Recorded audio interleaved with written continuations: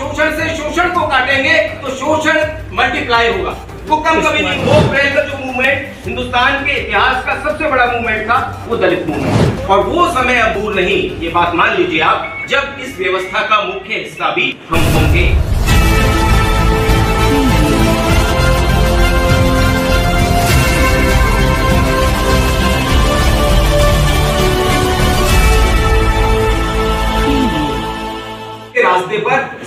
सीधे ना उतरे पहले प्रशासन को उसकी सूचना दे दें।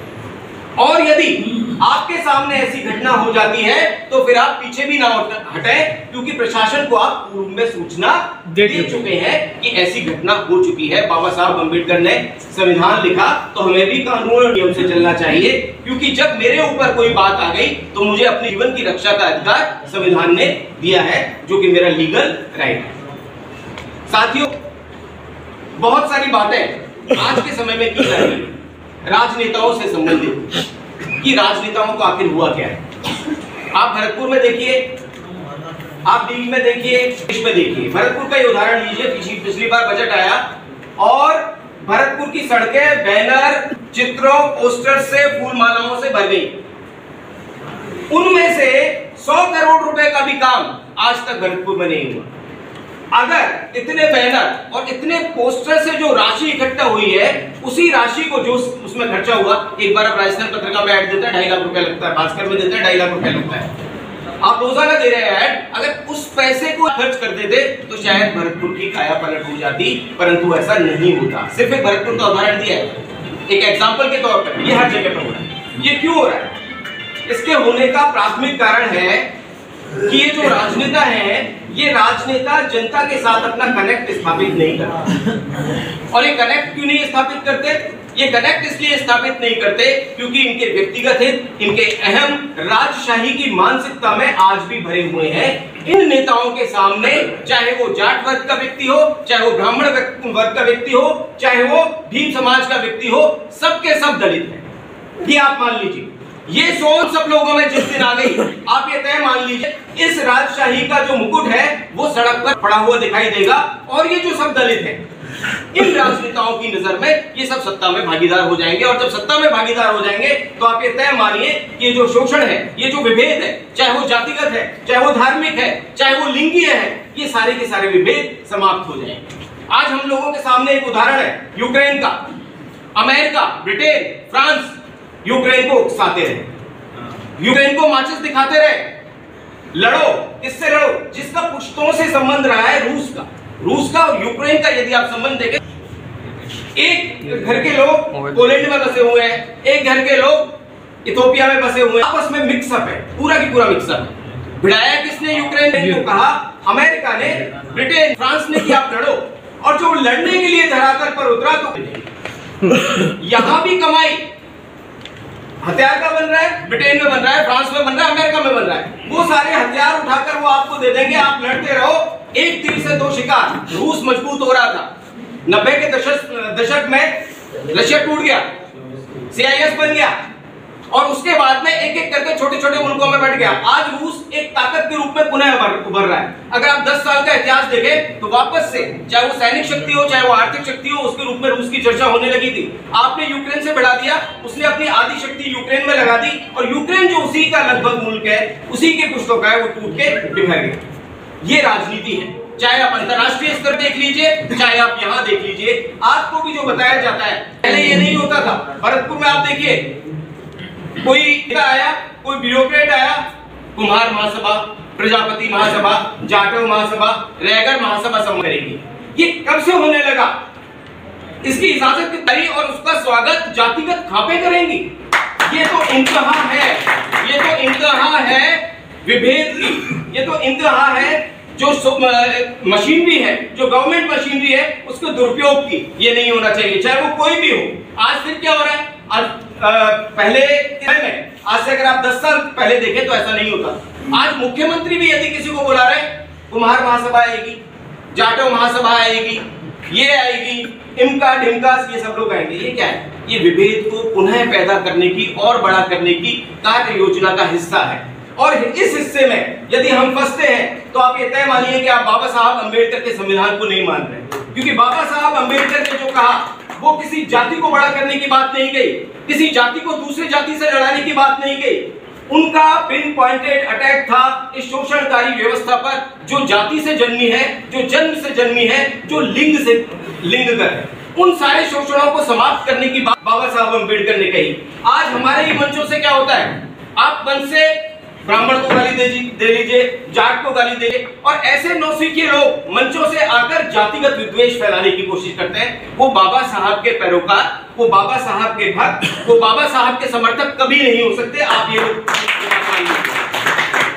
अगर आप जातिगत वैमनस्य से जातिगत वैमनस्य को काटना चाहते हैं तो मैं मैं आपको बताना चाहूँगा आप सैद्धांतिक भूल कर रहे हैं। ऐसा कभी नहीं होगा। अगर आप शोषण से शोषण को काटेंगे तो शोषण मल्टीप्लाई होगा। वो कम कभी नहीं हो सकता। वो कम सिर्फ़ तब हो सकता है जब आप मूल कारणों पर प्रहार करें। और इन मूल कारणों पर प्रहार करने का बीड़ा बाबा साहब अंबेडकर ने उठाया।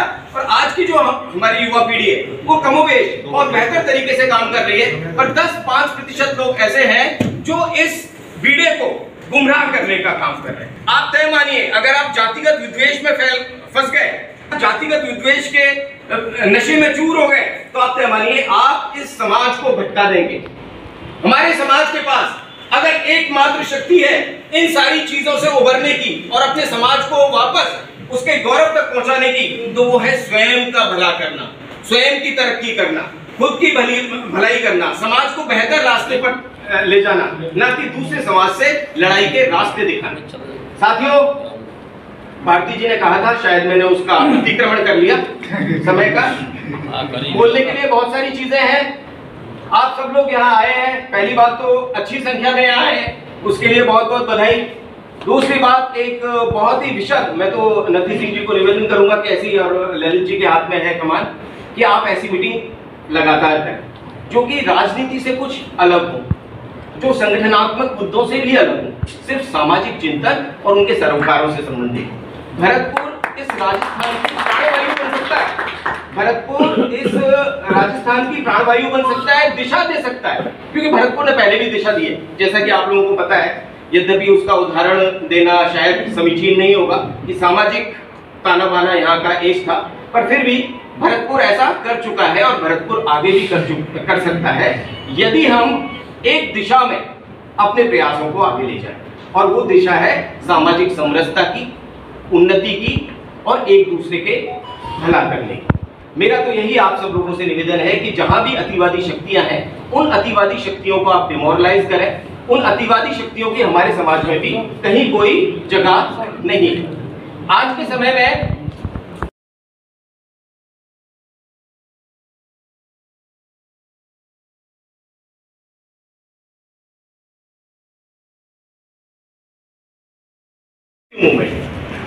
पिछले 30 साल का इतिहास उठाकर देखिए।